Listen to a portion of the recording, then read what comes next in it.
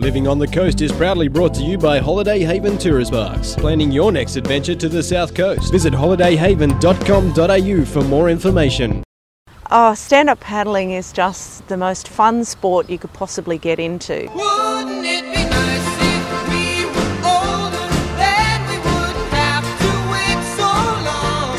And wouldn't it The modern day stand up paddling started back in the 50s when, uh, after the war, all of the, the ex war veterans wanted to go to Hawaii to uh, recuperate and enjoy life and took up the sport of surfing.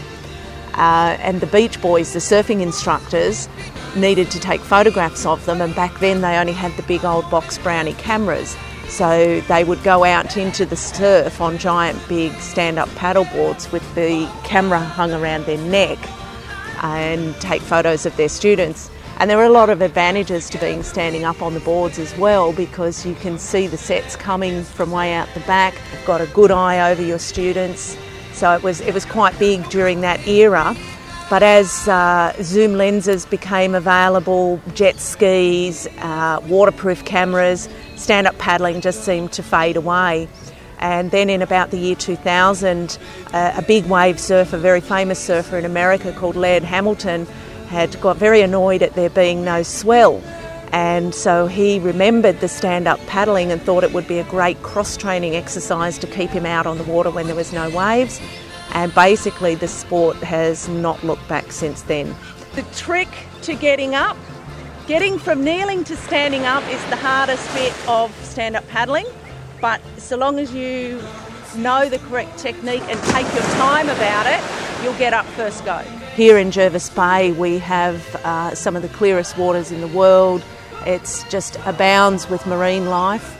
And to boot, we have a tiny little wave, stand up paddle boards. You can catch a six inch ripple and have a ball.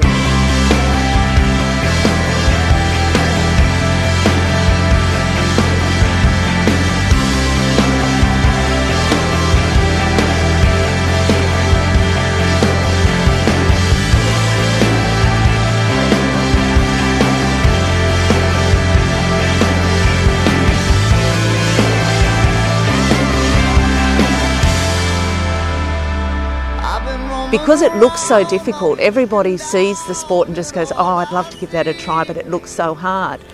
And, and when they actually get out there and they're shown how to do it properly and they get up and, and are paddling, the sense of achievement is just unbelievable. Uh, it- it's really lovely to see that in people. Like, I'm a, a late bloomer in water sports, and, and I just want to see other women get out there and, and have a ball like I am. Walk them out beyond the waves it's such a good fitness sport because the second you hop on the board, every muscle in your body is working to just keep you balanced, but it's working gently and, and very subtly, so it doesn't feel like you're working.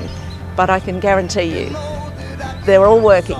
And then once you start paddling, um, it really engages the core and it works your core, strengthens your lower back, um, works your arms and shoulders.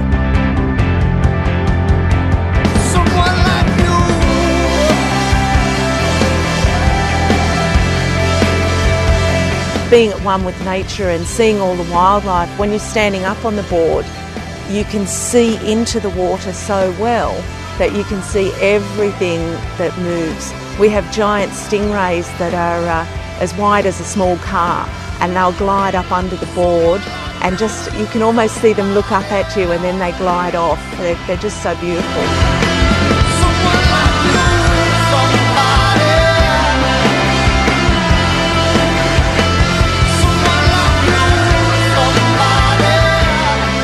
Oh, well, look, I'm totally addicted to the sport. So for me, getting more people in and, and showing them how much fun they can have out on the water, it's just so satisfying.